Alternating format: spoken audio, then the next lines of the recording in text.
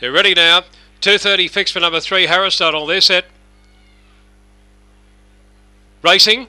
Aristotle box number three began okay. Up in search of the lead outside. Promises kept early. Promises kept takes the lead of the back straight over Aristotle by about two or three. Going up on the inside, Major Curly third. Then White Bandit followed by Quizzical. Next Alan Kempo right out of it. Then Reichenbach and also Amelia Christa coming off the back straight though. And the leader Promises kept it's about five lengths out in front. Over Aristotle they were followed further back by White Bandit to third. Around Major Curly in the straight and Promises kept clear.